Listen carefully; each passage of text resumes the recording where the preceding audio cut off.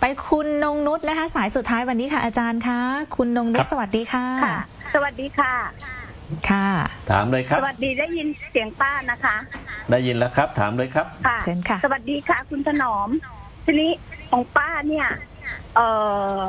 ป้าไปสอบเขตเนี่ย แล้วแล้วเออสำนักงานที่ดินสมุทรปราการเขาปักหลักเขตให้ป้า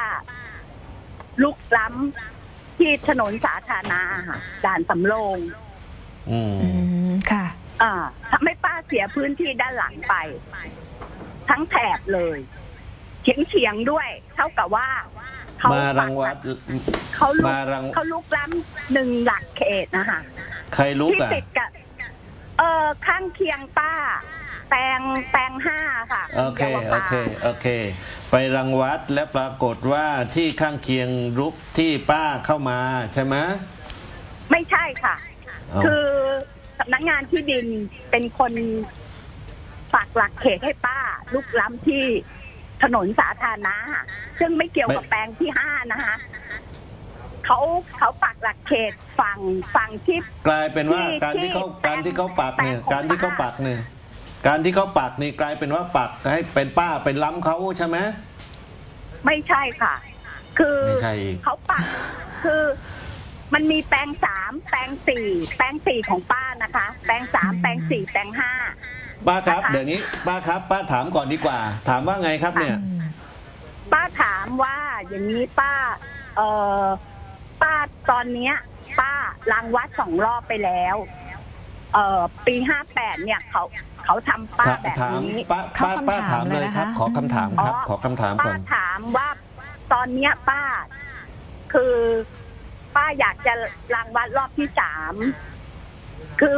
คือคือรอบที่สองเนี่ย ป้าก็เสียเงินสองรอบไปแล้วรอบที่หนึ่งเขาเขาป้าเขรังวัดทำไม่สำเร็จใช่ไหมป้ารังวัดไม่สำเร็จใช่ไหมคือตอนนั้น คือสำคือมันไม่ใช่มม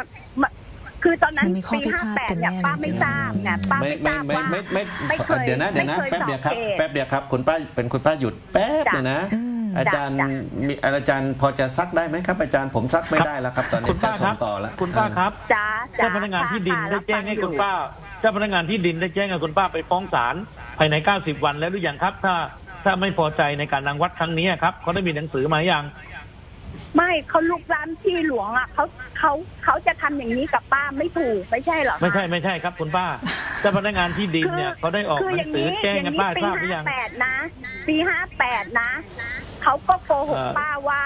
แค่คุณเปลี่ยนคุณป้าไม่ฟังเลยพี่ถนอมต้องต้องหลักใช่เขตให้ไปอัยการดีกว่าให้ไปอัยการดีกว่าพี่ถนอม ให้อายผมการฟังดีกแล้ว่าวเนาะพี่ถนตออนมนี้เนาะ ผม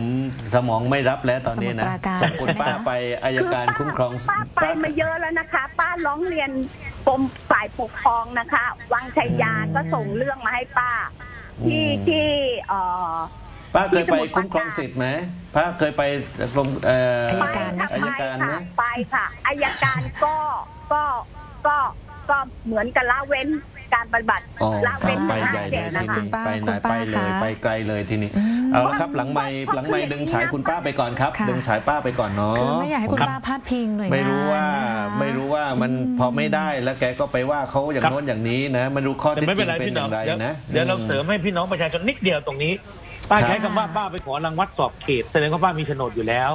แต่ครับ พอไปสอบเขตไม่รู้สอบเขตเพราะอะไร หรือไปแบ่งแยกเป็นสีแปลงหรือเพราะเราไม่รู้ แต่เมื่อป้าไปรังวัดสอบเขตแล้วปรากฏว่าอ่าป้าบอกว่าเขตของป้าไปติดถนนสาธารณะเข้าไปหนึ่งเขตถูกไหมครับหนึ่งหลักเขตจะบอกประมาณนั้นเนาะ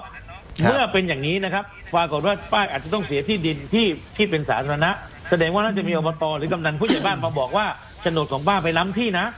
ถ้าเป็นกรณีอย่างนี้นะครับเจ้าพนักงานที่ดินจะให้ทำการไกล่เกลี่ยกัน ระหว่างคู่กรณีไม่ว่าจะเป็นเอกชนหรือราชการหากไกล่เกลี่ยไม่สำเร็จก็เหมือนข้ากฎหมายที่เราเคยตอบเลยพี่ถนอมศาลจะแจ้งให้กับป้าเนี่ยไปฟ้องคดีต่อศาล ภายใน 90 วัน ไปดูซิว่าสิทธิ์เนี้ยได้ของใคร มันเป็นถนนสาธารณะจริงหรือเปล่า หรือสาธารณะล้ำป้าหรือป้าล้ำสาธารณะ เมื่อศาลตัดสินออกมาอย่างไร เจ้าพนักงานที่ดินก็ออกโฉนดให้ตามนั้นนะครับอืมไม่ต้องไปเถียงไม่ต้องไปร้องใคร ถ้าเรามองว่ามันเป็นที่ดินของเรา และถนนสาธารณะมาล้ำเรา เรามั่นใจค่ะนะครับเขาแจ้งหนังสือมาให้เราไปฟ้อง เราก็ไปฟ้องคดีตามนั้นศาลจะตัดสินเองครับพี่ถนอมครับครับค่ะ